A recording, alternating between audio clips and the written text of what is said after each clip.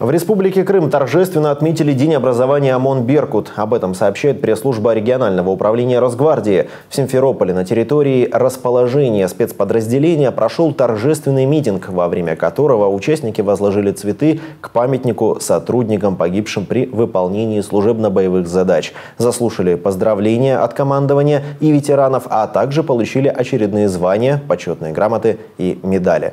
Торжества прошли в Евпатории. Здесь на фасаде школы номер 12 установили мемориальную доску в память о погибшем 18 февраля 2014 года во время беспорядка в Киеве Андрея Федюкине.